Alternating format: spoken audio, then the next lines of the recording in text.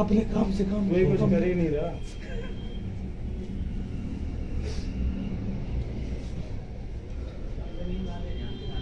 Original Samsung की battery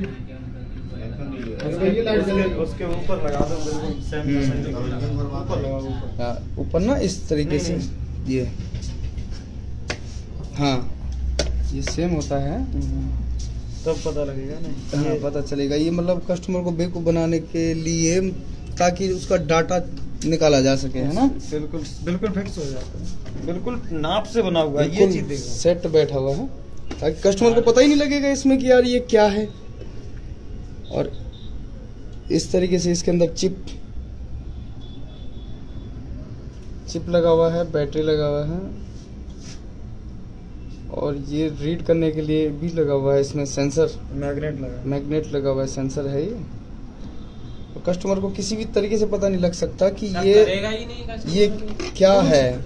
मतलब normally लगेगा ये और दिया कि कोई ज़ोर भी लगाए कि आप दिक्कत लाइट जलती है इसमें। हाँ। यहाँ लाइट जलती है अभी। थोड़ी देर रखो तो लाइट जलेगी। और एक एक कैमरा इस तरीके से लगाया जाता है जबकि इसका डायरेक्शन है नहीं यहाँ पे। यहाँ दिखे डायरेक्शन इसका नीचे है।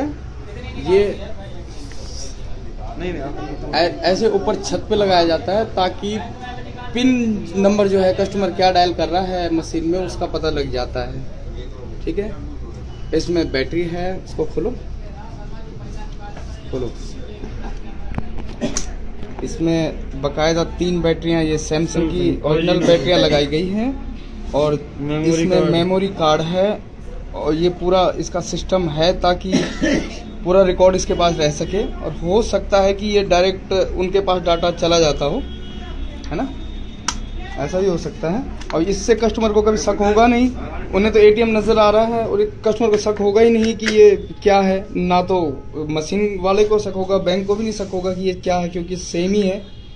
और इसमें सारा सिस्टम लगाया हुआ है ताकि कस्टमर के कार्ड के नंबर चोरी किए जा सकें। और ये ऊपर कैमरा इसलिए लगाया जाता है ताकि पिन नंबर पता लग सके कि कौन क्या पिन डायल कर रहा है।